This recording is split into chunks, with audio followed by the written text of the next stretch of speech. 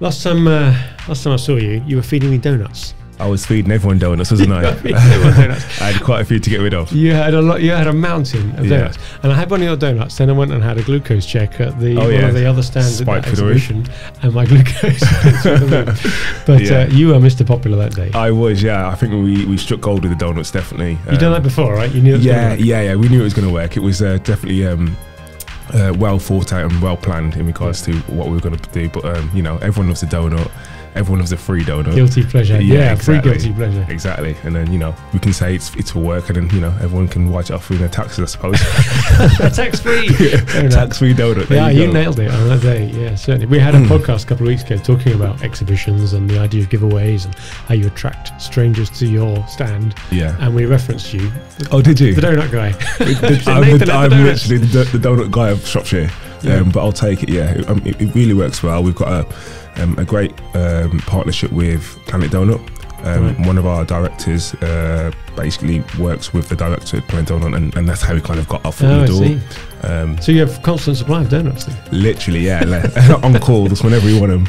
Um, Yeah. But yeah, they're really good with us in, in regards to kind of the marketing and everything around it. And we've got, obviously got our own signature donut now, which is great. Have you? Uh, you know, not many people can say A that. Dwello donut. a Dwello donut. Some so- people have a coat of arms or a phrase, No, but you've no. got your own donut. Yeah, yeah, exactly, exactly. Brilliant. Excellent. Well, uh, I can imagine everybody listening now is getting very hungry, so I think we better start the podcast. Brilliant.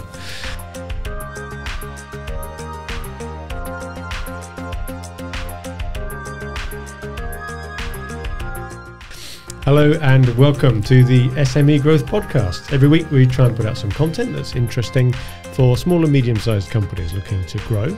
And sometimes it's just me and Richard chatting away on some subject or other, but sometimes we're lucky enough to have a guest. So joining me this week is Nathan Blissett. Good morning, Nathan. Good morning, hello everyone. Yeah, Uh, thanks for coming into the studio. No, always very excited to uh, have this conversation. Yeah, well, it's um, a subject we were prompted to think more about when we met you at the exhibition we were just talking about, the, the Donut Famous exhibition. Yeah. And you've got a business which, on the face of it, looks like lots of other businesses out there selling a financial product. You sell mortgages. Yeah, But your story is much more interesting than that. And I wanted to unpick a bit of that today as well, find out how you got into it and how you're finding it. And you've taken a very different approach to it as well, which we're all, we're all in the office, we were looking at your website and your stuff. and Oh, yeah. We love it. It's great. You, you know, the, the, the angle you've taken really sort of struck us as a, an interesting way of any business to be able to look how could they approach an existing market Yeah. in a different way. I So appreciate that, yeah. But start off, give us a bit of your background because you haven't been a mortgage advisor all your life, have you? No, no. So um, uh, I've been a mortgage advisor for the last three years. Yep. But prior to that, I've been a professional footballer for the last 11, I would say. Yeah. Um, so yeah, playing all up and down the country, um, Kidderminster, Cambridge, Torquay, Plymouth, Bristol Rovers, Tranmere, to name a few. Uh, I could few. go on. well, I think you, especially, say, you are our first guest on this podcast with your own Wikipedia page. there you go. So that yeah. marks you out, doesn't it? So okay, so you're professional foot, professional footballer, yeah. and as everybody knows, that's a great career for a period when you're young and fit. Yeah, yeah. But professional footballers tend to retire, uh, what, in their thirties or something, yeah, or yeah, exactly. later if you're goalie, uh, and then you've got to think of another career. So you can't have been thinking all your life you're going to be a mortgage advisor. So how did that thought come about? Yeah, of course. So I came into football quite late. Um, you know, usually most footballers would have a YT, a youth contract through a, you know, um, a, large club. Say, for instance, take uh, Shrewsbury, for instance.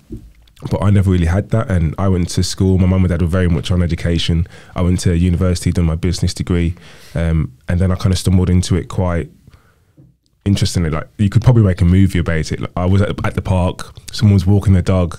I was playing really well, and they kind of said, you know, to come for a trial. That, that kind no of way. thing. That- that is that- the sort of thing that happens in movies. yeah, that's how it happened. Um, so I stumbled into football, but I always knew that you know it's a short career.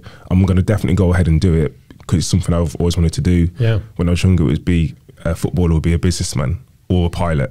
Um, I don't think I had the, the, the qualifications for the pilot, but um, yeah. So uh, when I was a footballer, I knew that by the time I'm 32, 35, that's probably going to be my time to call it a day. Mm. Um, and what what is it that I'm going to be interested in moving forward? And football gave me the, the freedom to literally choose whatever I wanted to do moving forward as my second career. Yeah. Um, and I really just kind of had to sit down and, and look at it at the face of it and think what interests me. Yeah. And what did you get advice then? Did someone suggest it to you? or- Funnily enough, it was when I bought my first house, and then Ah. it was the mortgage advisor that that helped me buy my first house. Yeah. Was the reason I'm a mortgage advisor now. that doesn't Um, sound like they did a good job then. No, no, he did a brilliant job. That's Oh, what I'm I see, saying. yeah, right. he did an amazing job. His name was Will. I can't remember his last name, but me and my wife walking into uh, an estate agency, Mm-hmm. not knowing anything about anything, saying we want a property, you know, our first house, we want to Yeah. build a family, etc., etc. And he just talked us through it all. You know, that while we were there, the aftercare, all the way through to all the way through to completion. And Mm. I left that meeting and I said to my wife, I was like, "That's something I could do. I really Mm. want to do something like that." Um, and that was kind of the seed that was planted. Um, fast forward maybe two to three years, uh, COVID hit, um, and I was what 28, 29, and that's when I was kind of thinking to, to myself, right, what is it going to be? What do I want to do? And I thought, if I can just do my qualifications now, while I've got the downtime, because I wasn't playing football, everyone was in their house. Yeah. Um, you know, most people playing video games and whatnot. But I thought, you know, if I can just cr- crack on and, and get my qualifications done, this is my career for the next, you know, 20 to 30 years. So, and that's how it kind of happened. There's a great example, really, of how opportunities pass all of us by all the time, and having the the luck and the courage to spot and then take advantage of those opportunities can can define your career, really. So, right from being spotted playing football in the park, Yeah. through to having a chance encounter with a really talented mortgage, Mortgage advisor, yeah, yeah. that inspired you to say, of all the things in the world, from pilot to, to anything else, Yeah. I'm going to do that. Yeah, yeah, exactly. Yeah. Like well, said- you made it your own. Yeah, like I said, he, he was amazing for us, and I want to try and be as good as that. I mean, I feel like I'm, you know, hopefully I am. Um, But just to give that level of kind of security and comfort to Mm. people in those vulnerable positions, because it is quite vulnerable. It's one of the biggest things you're ever going to do in your life. Yeah, sure. Get married, have a kid, buy buy your Buy first house, house. So. yeah. I want to make sure I can give that comfort and and create that yes moment, which is Yeah. kind of the ethos behind Dwello mortgages as well. Yeah. So, for a start, I'm struck by the fact that this is a highly regulated industry. Anything financial services Yeah. is. So, just doing the exams is merely one step of many steps that you have to take before you can be a practitioner in it. So, how did you get? How did you cover all those barriers and Oh, get to be fair, actually, it's not. So really, once you've done your exams, you are allowed to to practice. right? What all, all you need to do then is be uh, vetted by the FCA Mm-hmm. um, under either uh, a network or if you go directly authorise yourself, which I wouldn't advise anyone for you know starting out to Mm. Yeah. do. So you've gone the network route. I've gone the network route, yeah. So originally I started as a self-employed advisor underneath um, uh, a company called uh, AFP Shrewsbury. Mhm. That's who I started out, out working for, and he, um, the, the director there, Gary Harper, he showed me the ropes of every, everything. So Yeah. w- when it comes to you know the qualifications of a C, of a CeMAP, it doesn't really um, prepare you for actually advising Yeah. clients on a day-to-day basis. You know, the mannerisms of how to contact a client, um, get an Well, it's application. more through. technical. You mean? It's, Yeah, a lot more technical. You know, every single lender is different. So Mm. the criteria to get an application through, you know, the relationships with with the BDMs, all those kind of things you need to learn on the job. Yeah. Um, so that's where I started, and, and that's what you kind of need to get under your belt first and foremost to be a competent advisor, Right. and that's probably the best way to describe it. You, you're an advisor straight away from um, qualifying, but to become a competent advisor, where you know the compliance side of it, every single case has to be checked Yeah. until you're a competent advisor. And once you're a competent advisor, they know you know your stuff, Yeah, so they can kind of leave you Yeah. and, and to do your thing, so to speak. So when you set up, you clearly didn't want to just be like everyone else in the high street. You were inspired by this advisor that Yeah. you'd had. So how did you set out your stall to be different to the others? What's the sort of the brand that you've built? Yeah, so the, the brand was really to be disruptors, Right. and that that was kind of the forefront. Be disruptors and be one percent better than everyone else at, at Mm. everything. So you know, not have a USP of we are the best at this, Mm. but be one percent better at you know communication, at tenac- tenacity to contact um, lenders, to do the research, just just trying to do everything one percent better, and then you Mm. know that that adds up, and then you, there's a clear um, um, gap between you and the competitors. yeah. So that's how we kind of. But um, you strike me when I look at your website and I see your other comms, see you at the exhibition and so on. You, you could well be better than all the others, but unless I've been in the mortgage market recently, I wouldn't know that. Yeah. But what I can tell straight away is that the business just looks and feels different from the first time I encounter it even Yeah. without needing a mortgage. I look at your website. So dwello.co.uk is it? That's correct. Yeah, Yeah. So if anybody goes on there, have a look.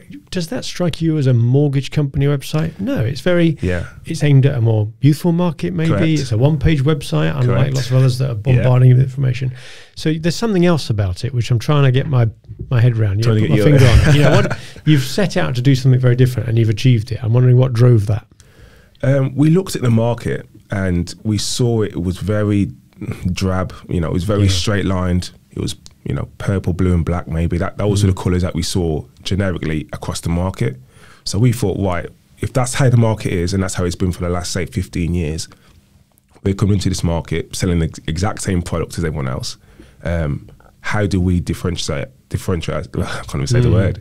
How do we, um, you know, be different than everyone else in regards to being in this arena and, and trying to grab a bit of market share? Yeah. Um, we, we knew that colours play a massive part to people uh, and attracting people in, in this day and age of social media. Um, we knew that the, you know the the market we, we wanted to go to was kind of the age group of myself and my business partners, Yeah. early thirties, um, company directors, uh, young families. Um, that way we can we can kind of grow with them. Um, so there was a, there was quite a few things that we kind of pinpointed that made us look into Dwello being how it looks right now, which is Yeah. you know we call it the peas and sweet corn because it's you know bright yellow and green. Um, Okay. So yeah, it, th- there was a there was a lot of things that we thought about. There's a lot of thinking's gone into that. And I think you nailed it. It's great, you know, and, and everybody in the office here that's had a look at it remarked on the fact that it's it's talking to them. You know, got a Yeah. generally young workforce here, and they felt this this is much more for them than all of the other stuff you want. Yeah, I mean, we went to a conference um, as a group about a month ago, and uh, and that was at HLPR Network. That's who we work under for our, com- our compliance. And uh, the person doing the uh, introductions basically said, anyone under the age, uh, sorry, anyone, yeah, anyone under the age of forty years old, raise your hand.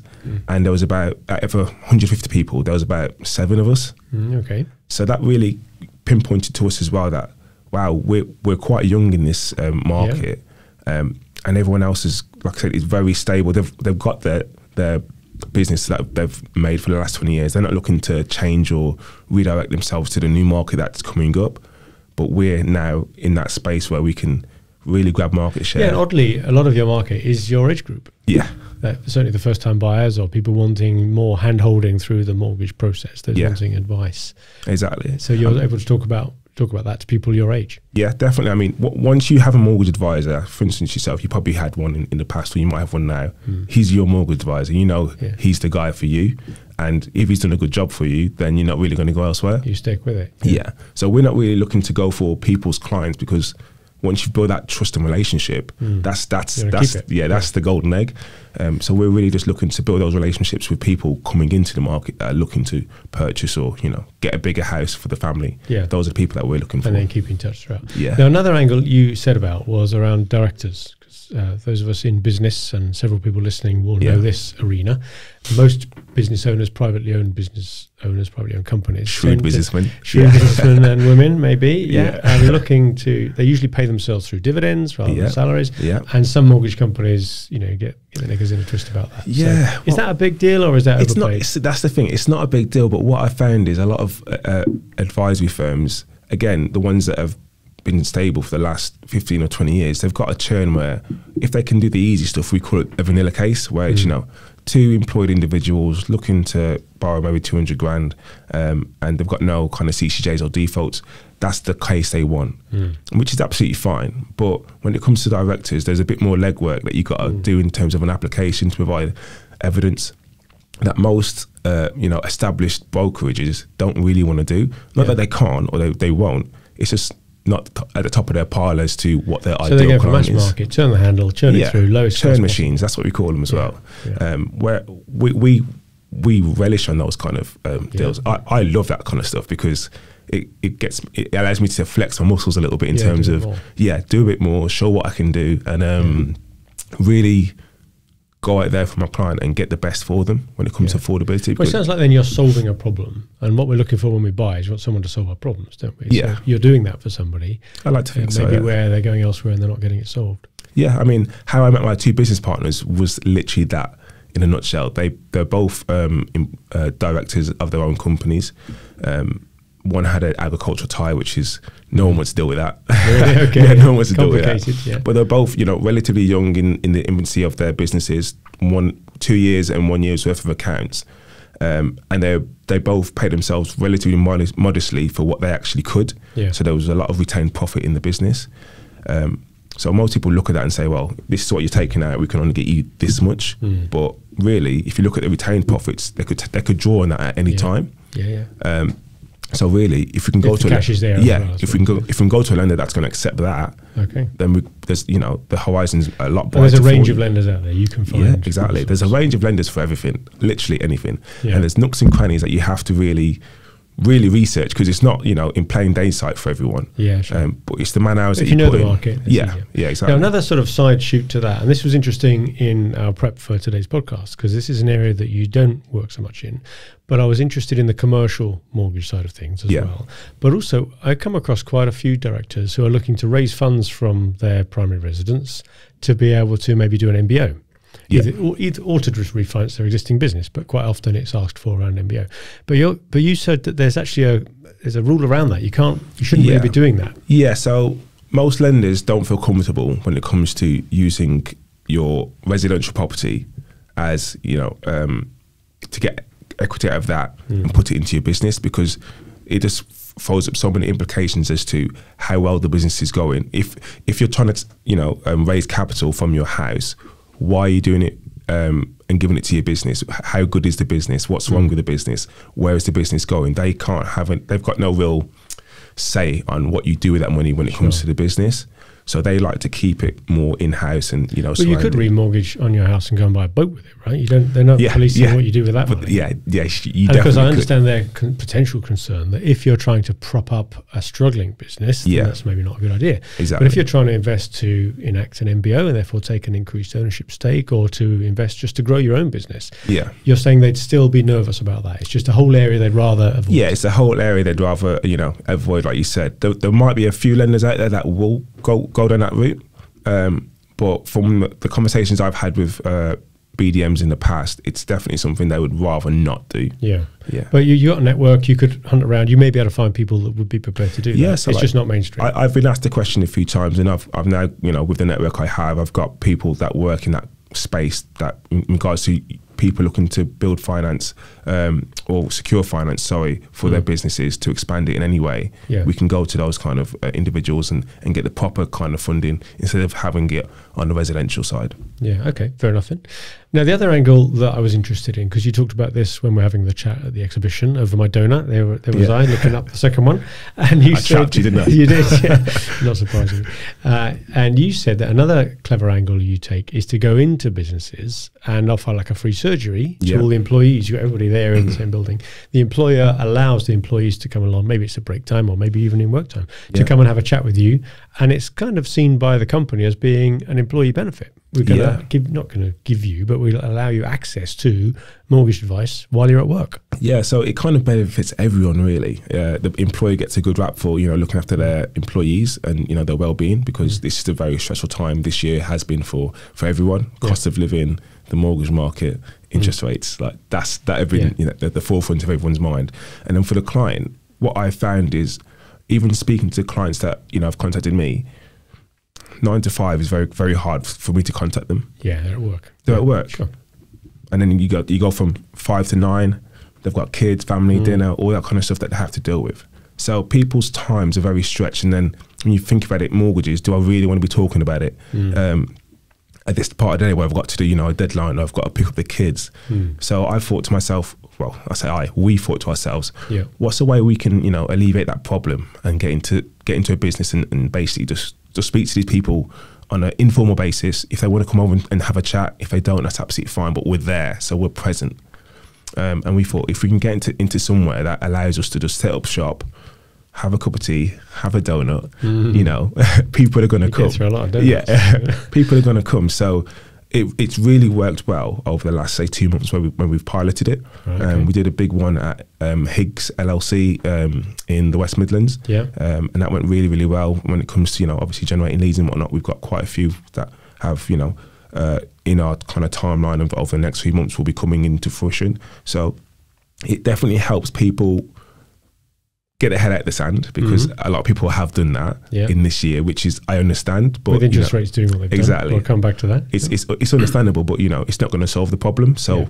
we, again, we're just trying to solve a little problem that uh, and alleviate a bit of stress. So still at trial stage, you you've given it a go. Yeah. Early signs are positive. Yeah. Would you say that you're really going to focus on larger companies with lots of employees, or would you consider across the board? It's across the different board, yeah. So you know, if there's a a company with ten to fifteen, and if there's a company of 150 to 300, then Yeah. I'm happy to, to do Yeah. all in between. And you go in on a regular basis so that they know that every month you're there on a Monday morning. So it wouldn't be a, a regular basis, but f- I'll probably do maybe twice a year. Okay, so because people you- would be they'd be aware you're coming. They'd be yeah, there'd be, yeah, yeah. So we've got like marketing material with you know the peas and sweet corn to show to hello, come in at this time. Yeah. If you've got any queries, if you, if you want to book in ahead, you can do. Yeah. Or if not, just drop in for a donut and a chat. Well, it reminded me of uh, an exercise we did when we were working with a law firm about four or five years ago, and we did something similar. So that's why I, was, I Okay. hooked onto it when you told me that you'd done it. And we got one of their partners actually to go into a couple of employers on a regularish basis, maybe every three months or so, and it was advertised, just for general legal advice. And you know, it's amazing, like you say, how busy people are, and they just don't deal with those things Yeah. outside of work. Give them access to it where they are, and suddenly you, you realize there's an untapped market there. You can make Exactly. it easier. And it's probably a general lesson for businesses anyway to think about where your market is and see if you would gain by moving closer to where they are rather than always expecting them to come to you. Yeah, It's not always there, easy. there was one thing I always noticed. Um, I, whenever I went to the shop, the, the shopping um, uh, establishment, wherever I was, there was always a little, um, you know, the window chip people yeah. Oh, to, yeah. to yeah. fix your window chips. On the car, You've got a window chip in your car. Mm. Oh, it'll be all right. We'll sort it out later. But they put it in the car park. They put it in a car park, Yeah. and it was, you know, the line was massive Yeah. because it was right there. It's convenient, Like, it's it? so convenient, and, Yeah. and that's what one thing we kind of looked at. It's like, yeah, if you can just be convenient for people, Yeah. um, if you need something, you know, sh- sugar, milk, whatever, Mm. you're going to go down to the local corner shop because it's right around the corner. Yeah, even if you Might- pay more a for bit, it. Yeah, Yeah. might be a bit more expensive, but you're going to go there instead of going to the big Tesco or whatever. Yeah. But it's another way of you disrupting in a way because I think there's a perception that the mortgage industry and the advisor industry around it is is pretty established, stayed maybe Ex- a bit stuffy. exactly. They just expect you to come To and come- see them. Now, to be fair, and, and advisors I've had in the past will use their evenings, and they, they you know, Yeah. it's pretty unsociable for them, but they Yeah. have to come around. You've got to do the It's so much easier for them and you if you could bury that into the daytime. And another thing again, so I go into kind of estate agencies, solicitors, and um, accountants, and what I found is, wh- why are you doing this? You guys don't do this anymore. It's like, Mm. why wouldn't I? I mean, you're here. Why don't I come to you? And, you know, everything's done Yeah. over the phone or Zoom at the moment, which is absolutely fine. It does make our life easier, but you know, to be uh, on the cobbles, so to speak, and Mm. and, and um, getting your miles in. I- I'm more than happy to kind of do that because Yeah. I know that no one else is. Well, it strikes me that you thrive a bit off that contact as well, face to face contact. You're, you're not Yeah. someone who wants to hide behind a screen. And, maybe that's part of the company's brand as well. It's personable in that way. Yeah, I like to think so, yeah. Face to face. Yeah, yeah, yeah. I mean, through my career, I've always been in the spotlight. I've always been looked at. You Mm. know, every Saturday is performance, and what you got, what you going to do? Show me something. Mm. Yeah. Um, so it, it it comes second nature to me to to be in front of people and have Yeah. that those conversations. Yeah, great. Well, we did say we'd come back to it. So while we're here, we better get a bit of an update on the market. Yeah, yeah. It's gone crazy, of course. Interest rates have gone up uh, successively for a period. Their decisions due in about half an hour's time, I think, today Yeah. from the Bank of England. But we're expecting it to stay stay flat. But we've had month after month of successive 25 base, basis point rises, Yeah. haven't we, for the last couple of years? Now, those of us that are old enough say that this just come back to the levels they always were, right? normal, yeah. At least it's not up at whatever figures we were used to when we were first time buyers. But for anybody that's bought over the last, well, since the financial crash, really, back in you know 2008 9, Yeah, this is unprecedentedly high levels of interest rates. And of course, anybody having taken a mortgage out in that intervening period will have budgeted accordingly. yeah, yeah. So where are we at now? What do you think is going to happen over the next uh, year or two? What's your view on fixed rates and all that sort of thing? Yeah, so I mean, in regards to the market itself, yes, we've been spoilt a little bit over the last, say, 15, 16 years where the interest rates have been ridiculous. But for my generation, that's all we knew. Yeah. Um, so when it when it comes to you know the market leveling out and correcting, it's been very interesting and, and at some points a bit of a catastrophe.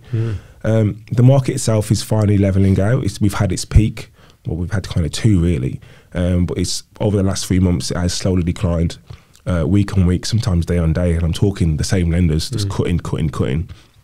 And again, they're all positioning themselves to be in the right um, position to get the best market share possible, be the cheapest lender, the most uh, most applications, uh, most completions, all those kind of things. It really is a war out there at the moment for them. Really?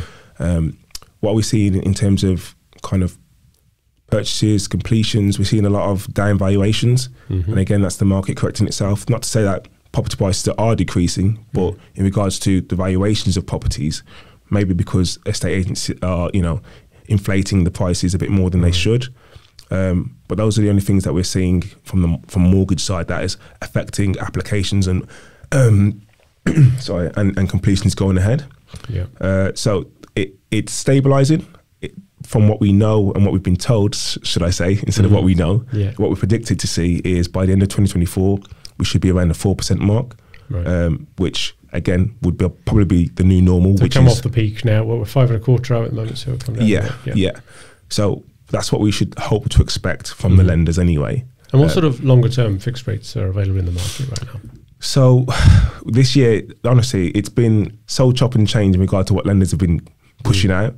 There was a, there was a time they, they just took off everything off the market. Right. There was nothing you could lit- get a- couldn't literally from about like three thousand different products. There was nothing. Mm. Um, to you, we, there's now more of a resurgence of three year products. Usually it was two and five years. Okay. There was ten year products. There was full term products.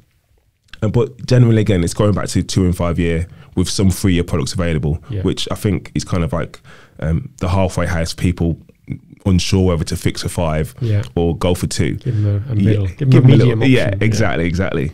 Um, so th- those are the type of products. Obviously, you've got the, your fixed rates, you've got your tracker rates, which have made a resurgence this year. Yeah. Okay. Uh, tracker rates would usually only be used for landlords, portfolio landlords that were um, weren't looking to tie in and be flexible to take cash out of their properties to then invest in, in other ones. But what we're seeing is a lot of uh, residential uh, customers going for tracker rates because they want to, uh, you know, have the best of both worlds in regards to hopefully interest rates could be coming down, so they'll have the benefit each month of lower interest rates.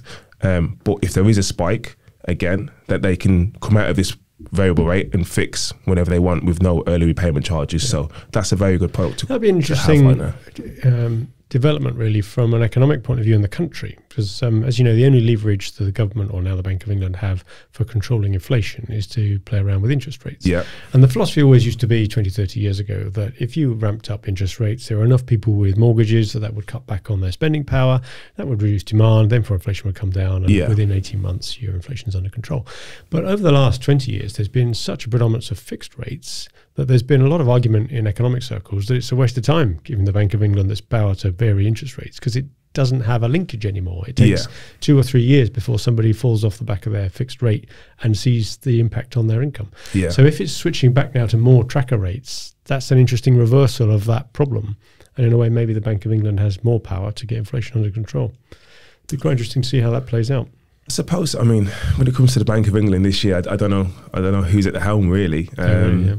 Obviously, they're, they're trying to curb what what essentially is their own doing. Mm. Um, so it's just interesting to see how they're going to do it. You know, this is the first time someone like myself has kind of lived through it. So it's, it's Mm. just I'm kind of sitting back and watching. Whereas yourself, you've probably been through it uh, uh, Mm. before in 2008, and you kind of know the Yeah. market a bit better.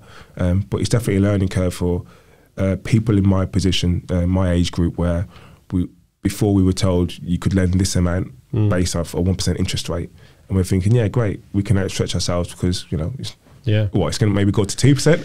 Well, I hope you never get to live through those days in Exactly, the early yeah. 2000s because you're getting 110% loan to values. yeah, it was crazy. the wild, wild west. It That's was what they called it. Yeah, yeah, yeah. And it was, you know, we all know what happened in America, which triggered it off, but it was as bad over here. You know, there was very irresponsible lending. The way Northern Rock funded their business to pump even more mortgages out, and the Royal Bank and so on. It, it was it was madness, really, that it was allowed to carry on. Yeah. And hopefully, through all of that experience and with implementation of Basel III on the banks to increase capital requirements, it's just putting a few more safeguards in place now. Hopefully, you'll never have to go through that again. Yeah. But if you do, then read up the textbooks, the history books, because oh my, that was uh, that was a crazy time, and what a hangover we've all ended up with after that party. You Yeah. it was just too much too soon. Good. Okay, that's a good update of the market. Then I'm interested just to sort of close out a bit on some of your thoughts about um, how you market Dwello itself, your own business? What sort of marketing do you do? Is it is it brand awareness stuff? You're sponsoring football teams and putting posters up, or do you do email campaigns? Are you doing social media? What sort yeah, of stuff? so um, it's very much myself really. I'm the forefront. I'm the poster boy of Dwello. um, getting my face here, there, and everywhere, all Yeah. over LinkedIn, all, all over Facebook. We've got a um, a local PR company, JMPR. They're amazingly brilliant at getting us into all the nooks and crannies of Shropshire. Yeah. Um, I call Kirsty the, the mob boss because she literally knows everyone. yeah, Um, no, we know JMPR. yeah, yeah. So they're, they're amazing for us uh, in, Yeah. in regards to getting us, you know, in newspapers, uh, you know, places like this. Uh, I've, we've we've done a few articles for the Financial Times for Mortgage Solutions. So we've really been out there and just getting the message out as to Dwello and myself. And is that working for you then? You're getting good return from It, that sort it of really is, yeah. Mm, and it's one of those things that you know takes a bit of time. So th- we're talking maybe when did we start with JMPR in end of May, June this year? Oh, this year? Yeah, Okay, yeah. And um, we saw slowly but steadily the increase in, in notoriety of myself and Dwello to, um, you know, three months down the line, we're really starting to see it come back to us. Um, you know, there's a lot more inbound than outbound, so to speak, Perfect. which is which is great for me. yeah. Yeah. yeah, brilliant.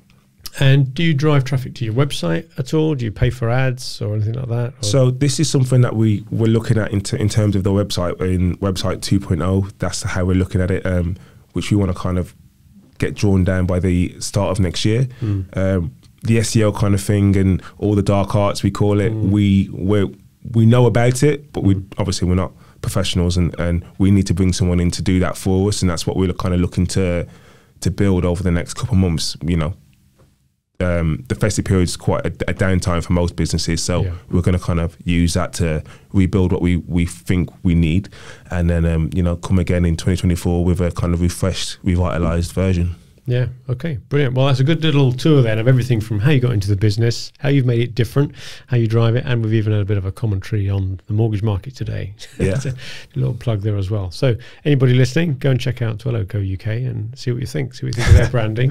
DeloMortgages.com. DwelloMortgages.com. There you go. Better get the right URL. DwelloMortgages.com. Excellent. Well, thank you very much, Nathan. Thanks for coming No in. worries, David. So that's uh, another episode of the SME Growth Podcast. Every week we try and come up with something different and interesting to talk about to business owners of small to medium sized enterprises. As we say every week, please follow us on the various podcast platforms that uh, you may get your podcast from and click the little bell so you get told when the next episode is dropped. And more importantly, like we say, just tell your friends about us. Drop them an email, mention it in the pub, let them know that there's some interesting content going out and maybe they want to tap into it as well. In the meantime, though, good luck with your business.